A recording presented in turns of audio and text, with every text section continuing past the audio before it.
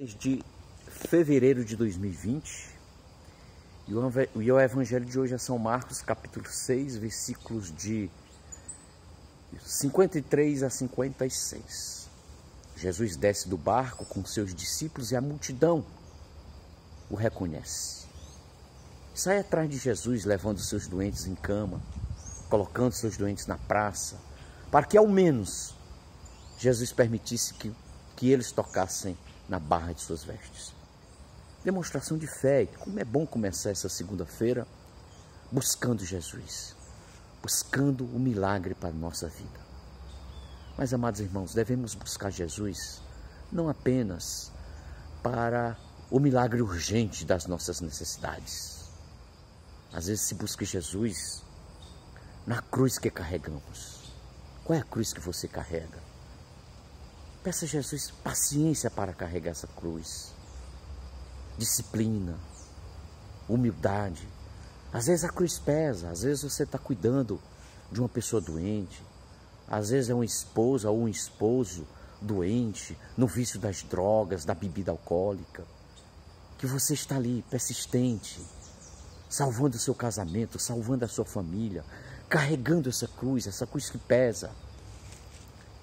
Ali, amado irmão, está a presença de Deus. E o grande milagre é a sua paciência, a sua determinação. Você levar e carregar aquela sua cruz até o fim, com fé, com humildade, com zelo. Talvez seja essa sua cruz que lhe dê a sua salvação. Porque muitos às vezes buscam e identificam Jesus apenas para a satisfação de uma necessidade realmente urgente. É uma cura física, é um pedido às vezes impossível de ser dado por nós humanos, mas para Deus nada é impossível. Mas vá além. Peça sua cura espiritual,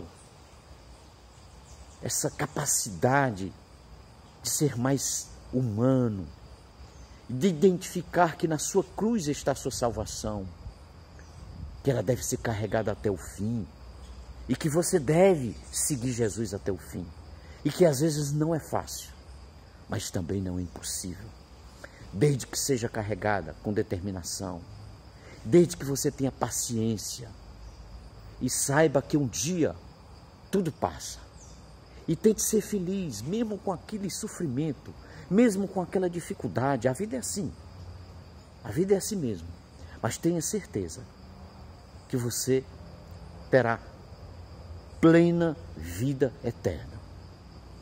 E não será uma pessoa infeliz, será uma pessoa grata a Deus, às vezes, por estar carregando aquela cruz. Pense nisso. Assim seja. Amém.